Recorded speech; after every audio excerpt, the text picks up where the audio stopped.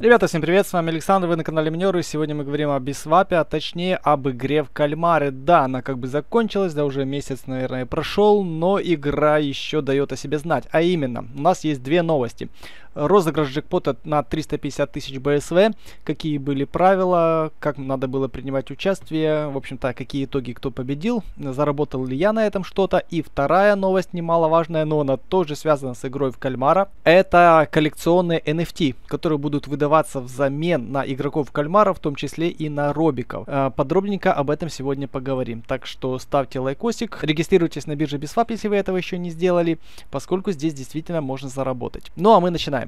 Ну и начнем с джекпота, который разыгрывался между всеми держателями nft игры в кальмара. 350 тысяч БСВ были распределены между тысячу игроками. И распределены они были неравномерно. То есть первый игрок получил просто космическую награду, там в размере аж 100 тысяч. Какие были у нас условия? Нужно было иметь игроков кальмара. Это первое и главное условие. Второе условие игроки должны были играть в игру версии 1 или 2, ну, либо в обеих.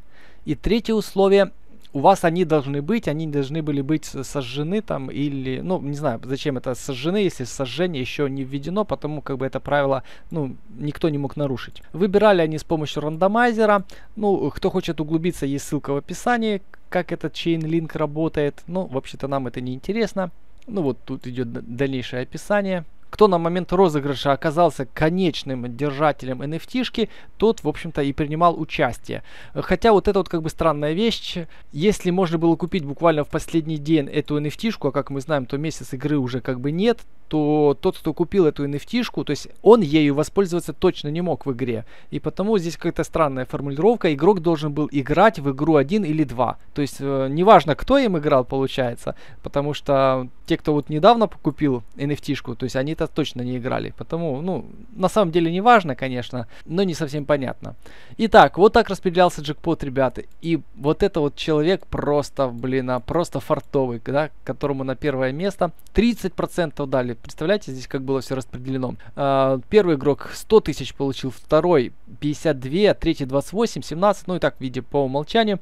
Uh, с 11 по 50 игроков получили 350, по-моему, у нас в чате был человек, который получил 350 БСВшек. 250 человек с 50 по 350 получили по 140 БСВ. И 700 человек с 300 по 1000 получили по 70 БСВ каждый. Сейчас переходим к... Сейчас перейдем непосредственно уже на страницу игры. Но смотрите, здесь была такая особенность, то есть э, игроки, вот ваш выигрышный игрок подсвечивался зеленой рамочкой, а игрок, которого вы купили, приобрели у другого игрока на торговой площадке, подсвечивался другой рамочкой. То есть здесь как бы они как-то это дело разделяют, но что-то я не пойму, на что это могло повлиять в конечном итоге. Когда вы переходите на главную страницу, на squid-nft.io. Э, здесь есть у нас кнопка Jackpot. Она горит New, вы на нее нажимаете и попадаете на вот эту вот страницу. Так, давайте я залогинюсь, а то я перезагрузился. Итак, я залогинился один из моих аккаунтов, видите, у меня здесь 14 игроков. И если бы я выиграл, здесь у меня бы загорелась циферка 1 или 2. В розыгрыше принимали участие конкретно каждый отдельный игрок. То есть э, теоретически один человек мог забрать все себе выигрыши. Ну, то есть можно было несколько раз э, получить награду каждый игрок принимал участие независимо. То есть его уникальный номер, его айдишник, по нему шел розыгрыш. И неважно, у кого он находится. Ограничений не было, что один игрок, а одна победа. Получается, если бы у меня здесь была циферка 1 хотя бы, то у меня игрок бы посвятился рамочкой. Либо зеленой, если он был типа мой и я им играл, либо он был бы там оранжевой рамочкой, если бы я его купил на рынке, но сам не играл. Ну, как я понимаю. Неважно, каким цветом посвятился бы ваш игрок, вам бы за это дали награду. У вас вот здесь бы высветилась сумма вашей награды. Например, 100 тысяч БСВ. Что нам размениваться? Пусть будет 100 тысяч БСВ. И у вас бы горела кнопочка Harvest. Вот, собственно говоря, на второй вкладке внизу есть кнопка Ranking List, и это, собственно говоря, список всех победителей. Вот айдишники игроков здесь подсвечены. Можете как бы найти, проверить, информацию по ним посмотреть. И здесь у нас 100 э, страниц по 10 штук, то есть 10 тысяч победителей. Эх, жалко, да? Представьте, 100 тысяч, это у нас, ну, если по нормальному курсу по 2, это 200 тысяч долларов. Если это все дело закинуть э, в стейкинг, фарминг на годик, то это было бы еще в двойные пулы, то там реально плюс 60% годовых. Было бы уже тогда там где-то 160 тысяч, а еще умножить на 2. То есть это легко, в общем-то, цифра превращалась бы там в 300 тысяч, а то и полмиллиона долларов с э, грамотным подходом, без, даже без торговли. Ну, как видите, несмотря на то, что у меня было довольно много команды игроков, ну, у меня тут, вот я так вот прикидывал, у меня 80 тысяч энергии, количество игроков примерно, наверное, штук 60-70. Мне большинство игроков в районе 1000, часть игроков по 500, часть игроков по 2000 и пару игроков там по 4000. А давайте сейчас прикинем, это же у меня, собственно говоря, цифры SE энергии. Попробуем сейчас как бы посмотреть. Итак, если я не ошибаюсь, то у меня среднее количество энергии на игрока это 1250, количество игроков 74 и сумму я насчитал здесь 92 тысячи. Ну, возможно, я тут буквально одну цифру какую-то лишнюю зацепил но не суть важно. У меня точно там не меньше 80 э, и 74 игрока. Это тоже довольно точная информация. Ну, к сожалению, мне не повезло, и я ни на одном своем аккаунте ничего не выиграл, хотя у меня аккаунтов было игровых там сколько штук, 6-7, и на некоторых было вот по 14 игроков, у меня было минимум 2 аккаунта. Uh, были еще аккаунты там по 8, по 6, ну и так далее. Разбросано было игроков. Ну что ж, как говорится, не получилось у меня громко хлопнуть дверью в игре в кальмаров, но еще у нас есть одно событие. Это коллекционные NFT-шки. И здесь немножко посложнее, так что Давайте разбираться. Первое, что бросается в глаза и что очень важно на этой картинке, это вот эта вот цифра 300 NFT. Если мы прокрутим немножко вниз, релиз у нас в августе. Не помню, в Телеграме я не встречал точной даты, может это, кстати, будет даже не 1 августа. Ну, об этом нам объявят точно в Телеграме, так что подписывайтесь на мой Телеграм, вступайте, там я сообщу это сразу, как узнаю. Что такое NFT Collectibles? Это ограниченный выпуск NFT, который можно получить только путем сжигания бисвап робиков. Ну, то есть сжигание это по факту обмен. Мы отдали своих, они сожглись, нам выдали других. Сюда входят робики и сюда входят э, автобусы и игроки в кальмара. Всего будет 300 уникальных NFT 5 уровней. Ну, чем выше уровень, тем больше бонус он дает. И вот на этом этапе уже как бы э, радостная улыбка с моего лица, как говорится, куда-то испарилась. Да. Тот, кто слушал внимательно, тот сам понял, что если у меня у одного было игроков только примерно 75, то вы представляете, сколько всего игроков есть э, во всем мире. Я не знаю, сколько там их э, э сотен тысяч и на все эти сотни тысяч всего лишь 30 уникальных NFT. Это говорит о том, что получить их будет невероятно сложно. Даже не читая вниз, уже как бы этот факт становится очевидным.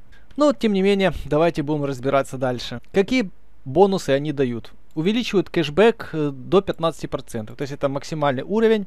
Э, пятая NFT какая-то максимальная может дать вам кэшбэк 15%. То есть вы платите 0,1% комиссии и кэшбэк, я так понимаю, это от комиссии, вот этот будут возвращаться до 15%. Но вот эти вот все бонусы, насколько я понимаю, они будут добавляться к вашим текущим бонусам увеличенное реферальное вознаграждение. Ну, то есть сейчас рефералка там, поскольку 3% дает, ну, смотря от чего, от стейкинга 1%, от фарминга другой, от комиссии третий, да, то есть он добавит до 1% коми... двойной пул, то есть будет уникальный пул с двойной наградой, как вы знаете, это как бы самые жирные на данный момент пулы, которые появляются несколько раз в месяц и дают, ну, хороший процент, то есть там он, по крайней мере, держится довольно долго в районе 70, там, 60, там, процентов. Он в течение месяца ниже не падает. И он будет уникальный, это будет как бы пропуск. Сейчас у нас пропуск это холд денег в холдерс пуле. Э, но будет еще какой-то уникальный пул с э, более высоким процентом комиссии. Мне это было бы очень интересно на самом деле. Но вот эти все кэшбэки, ну, неплохо. Для большинства игроков вот это было самое, наверное, вкусное. Для тех, кто много здесь обменивает, это вот 15%. Ну, для рефералов, э, для, ну, меня как блогера, вот 1%, честно говоря, меня не особо привлекает. Мне кажется, что оно мало на что повлияет, потому что рефералка на дексах это, ну, слабенькая такая штука, потому что у рефералок очень низкая комиссия, то есть 0,1%, и с этого 0,1% ты получаешь 3%, ну, это, короче, сущие копейки. Ну что, вы заинтригованы? Я очень. Давайте смотреть дальше. Кэшбэк, да, начисляется от комиссии при обмене паром из белого списка. То есть не все даже монеты будет идти на кэшбэк. То есть есть какой-то белый список. Посмотрим, есть ли он дальше. Ну и уровень кэшбэка, да, зависит от того, какая у вас NFT. И еще даже тут момент, видите, есть две таблицы. То есть первых полгода у NFT-шек будут одни показатели, а через э, полгода они будут снижены. Если NFT-шка на первом уровне будет давать 2,5% кэшбэка, но не больше 10 тысяч, то есть вы представляете себе, э, сколько нужно сделать обменов Э, это надо на 1000 умножить. У нас 0,1% стандартная комиссия, да, на бисвапе. То есть это надо еще как бы 3 нуля сюда. То есть нужно 10 миллионов в месяц обменять, чтобы упереться вот в эту... Не, ну я не, немножко неправильно посчитал. Здесь у нас кэшбэк 2,5%. Ну, неважно, все равно там сколько там миллионов нужно прогнать, э, чтобы упереться в этот лимит. То есть, ну, эти NFT-шки по факту э, рассчитаны для китов, для круп, крупных игроков, у которых э, сотни тысяч долларов, у которых команда игроков были, наверное, э, по там не по 80 тысяч, там 60, как у меня было, а тысяч по 500 миллиону SE энергии. То есть вот, вот такие люди смогут получить выгоду с этого обмена. Так, ну и тот счастливый обладатель NFT-шки пятого уровня может получить кэшбэк на 15%. Кстати, пока что тут непонятно, может ли одна NFT, допустим, пятого уровня, она дает вот эти все три бонусы, либо у каждой NFT будет бонус на что-то одно. Одна NFT дает бонус на кэшбэк, вторая NFT дает на двойной пул, а третья NFT на рефералку. Ну, судя по тому, что я прочитал, кажись, одна NFT дает все три бонуса одновременно. Ну, вот с таким вот процентом. Но через полгода, как видите, процент будет снижен вдвое практически, даже чуть больше, чем в 2. Ну, лимиты остались точно теми же. Но, опять же, для простых смертных это как бы, точнее, ничего не значит. Да вот даже для меня это как бы ничего не значит. Просто я не смогу этим воспользоваться. У меня нету таких миллионов, чтобы делать эти обороты. А вот и ответ. Обратите внимание. Владельцы предметов коллекционирования получают как комиссионный возврат, так и кэшбэк. Ну, все работает одновременно. Начисляется это на отдельный баланс. Лимиты сбрасываются каждый месяц, то есть это лимит на месяц. И эту nft можно передавать или продавать, но, скорее всего, передавать. Может, и они будут на продаже, потому что бонус привязан конкретно к nft а не к кошельку.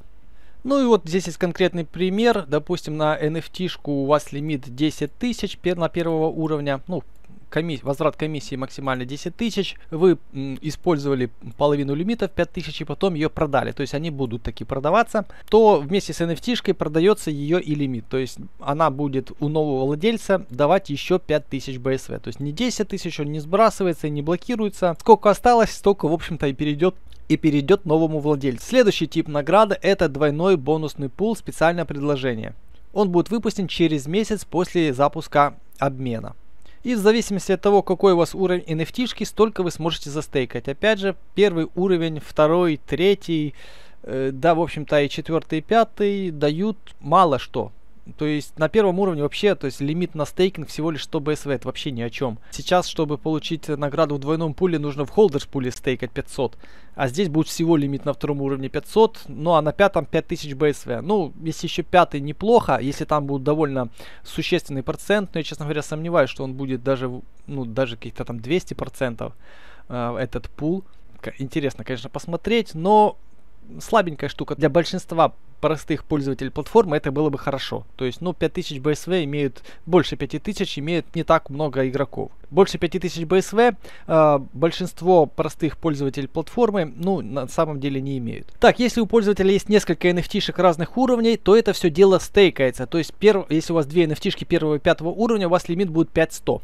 Опять же, если вы, допустим, у вас было две nft какая там вот он, они считают здесь, ну неважно, первый, второй уровень, грубо говоря, вы решили, поставили в стейкинг сколько там, 600 монет, да, потом решили одну nft продать, то у вас лимит как бы изменится и, наверное, сотка вам вернется на кошелек, ну или как-то так. То есть ваш э, двойной пул будет обрезаться, то есть продавать их можно, передавать, но это все влечет за собой сразу же последствия ну вот будут удалены из пула. Ну как, как удалены, ну возвращены на ваш кошелек. Ну дополнительную информацию ждем. Следующий пункт это реферальное вознаграждение. Ничего здесь интересного нет. Вот смотрите какие награды. На фарм и на пул процент вот такой вот, ну мизерный реально со свапа тоже. Видите, даже пятый уровень NFT будут давать всего лишь 1%.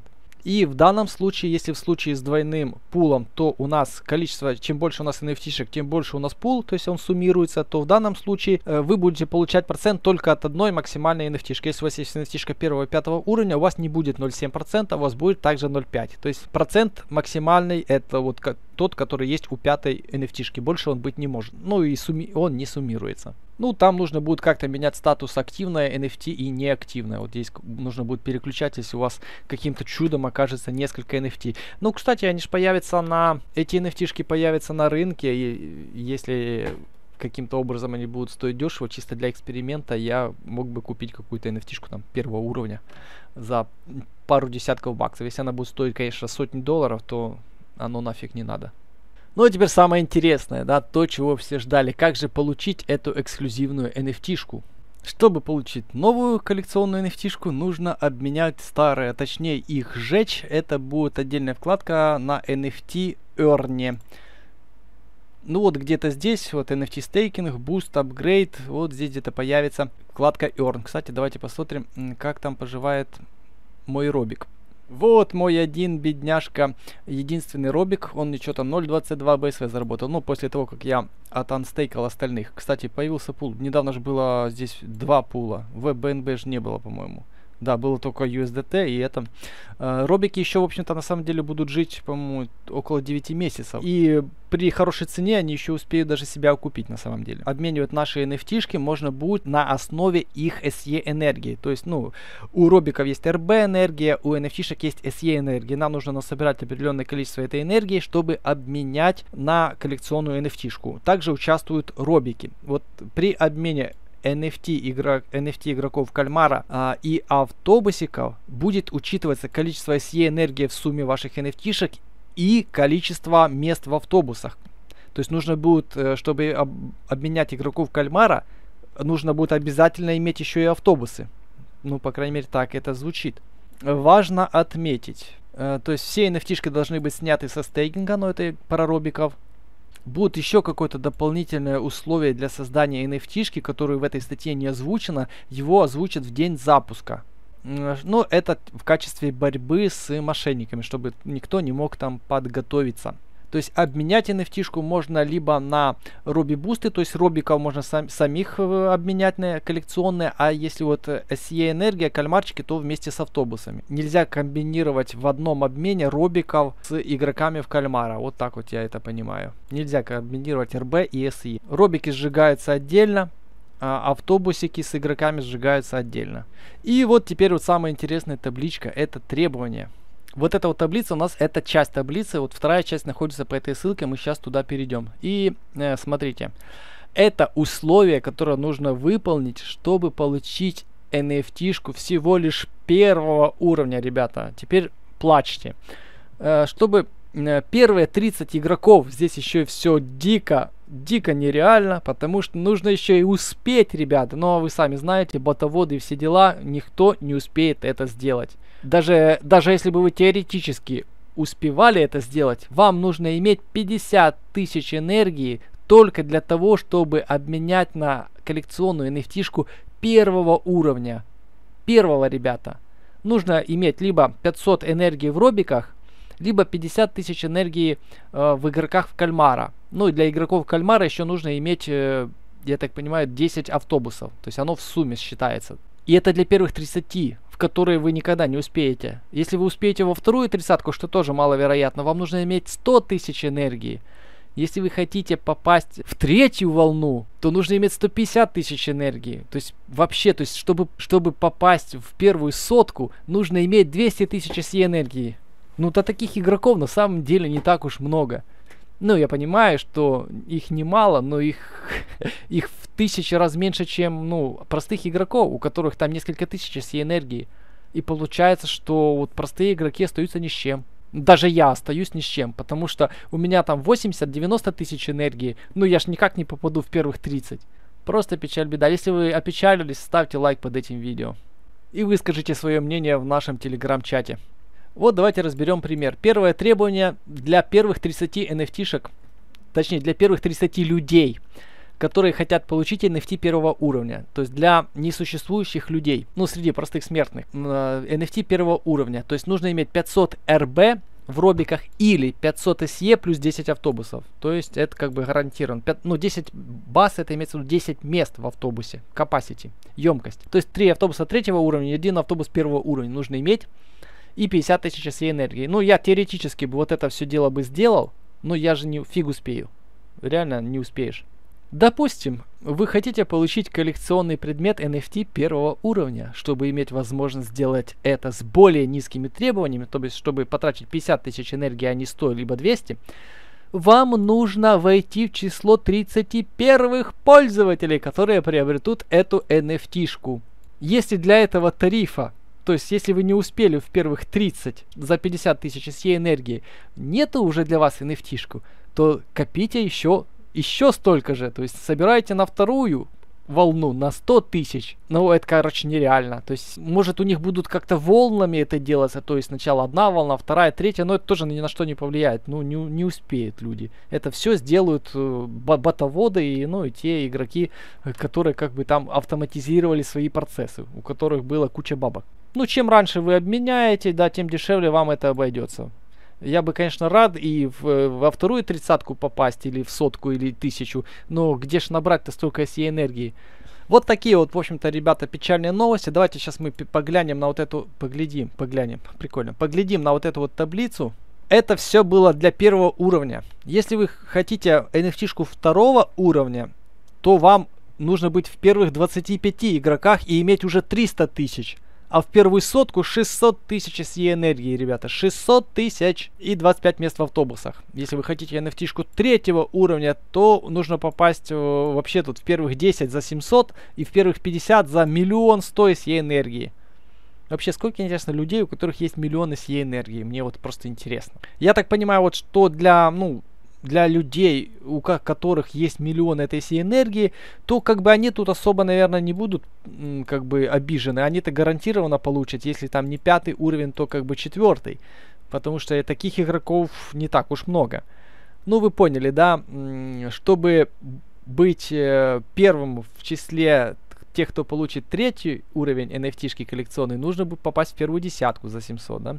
А, в первых первую тройку нужно попасть, чтобы за 2 миллиона получить nft четвертого уровня. А если у вас есть 6 миллионов, то можете попытаться в первых 15 попасть. Ну, это, короче, намного более реально, чем попасть, получить первую nft -шку. Вот что самое забавное. Э, на nft первого уровня конкуренция будет больше всех. Ну и для пятой nft за 8 миллионов пятую nft получит только один человек за 9 миллионов получит второй человек. В общем, тут всего лишь 5 человек, всего лишь 5 штук. Их будет NFT-шек пятого уровня. И, ее, и, и их получат люди, у которых от 8 до 12 миллионов. Ох, вот такие вот, в общем-то, дела, ребята. Давайте вернемся на эту прекрасную картинку, она мне нравится. Здесь у нас хрюшка на заднем фоне и в ней много денег.